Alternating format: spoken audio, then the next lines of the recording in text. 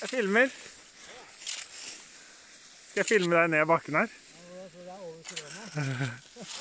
Det er litt skeptisk til.